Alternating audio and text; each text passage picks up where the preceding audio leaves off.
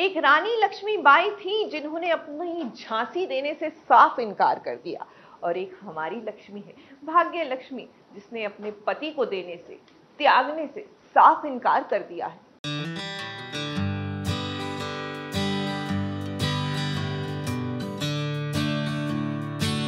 जिस भी शेफ ने खाना बनाया ना, वो कमाल का शेफ है।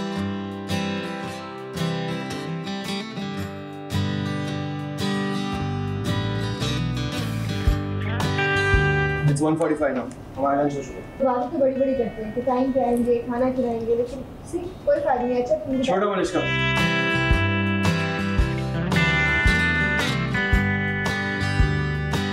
बहुत बढ़िया खाना बनाया। I am so proud of you आज आपके खाने की शेफ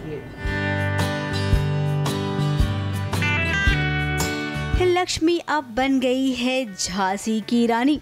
क्योंकि अब ये लक्ष्मी बोलती भी है गुर्राती भी है और सामने वाले की छुट्टी भी करती है। अब क्या है ना, वो समझ गई है कि अगर अपने पति को हासिल करना है तो सीधे बनकर कुछ नहीं होगा।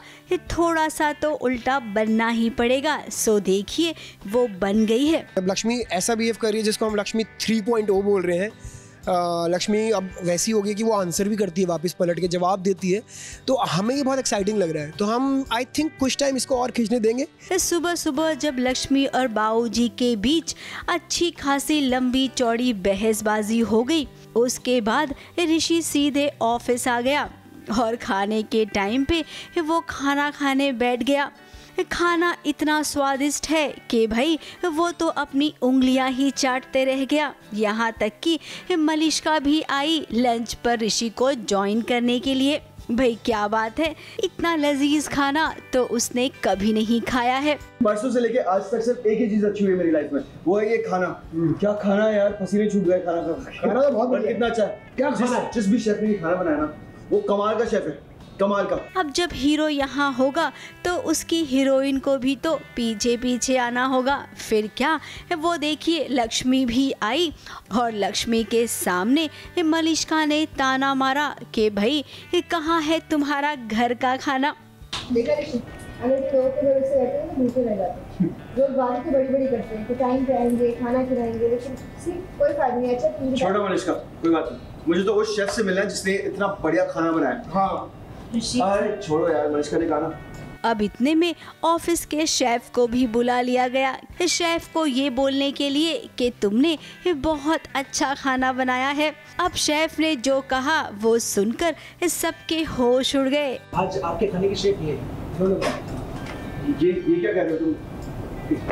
इसने खाना बनाया ये सर लक्ष्मी ने खाना बनाया लेकिन होटल की किचन में खाने का चैलेंज दिया गया था ऋषि के थ्रू लक्ष्मी को, और अब हम खाना तो खा रहे हैं और खाना बहुत टेस्टी है, और ऋषि शेफ़ का फ़ैन हो गया कि खाना बहुत टेस्टी है, पर खाना शेफ़ ने बनाया है या लक्ष्मी ने बनाया या मैंने बनाया है? एंड सडनली जब सरप्राइज़ आता है हमारे सामने तो वो सारी जो एनर्जी है वो एकदम से डाउन हो जाती है। बट आई थिंक अगर आप लोगों ने देखा है तो ये सीक्वेंस बहुत फन आने वाला है ये खाना जिसकी तारीफ़ करते करते ऋषि नहीं थक रहा है, वो खाना दरअसल लक्ष्मी ने बनाया है।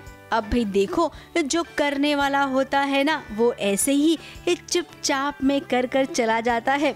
लक्ष्मी उनमें से ही है, लेकिन ऋषि, आप ये अभी नहीं समझोगे। जब मलिश्का के चक्कर से आपको लक्ष्मी बाहर खींच कर निकालेगी ना, तब आपको सब समझ आ जाएगा।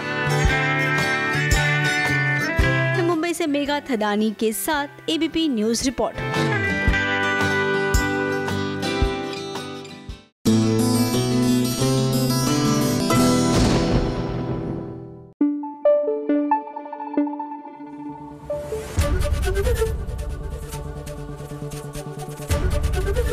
ABP news आपको रखे आगे।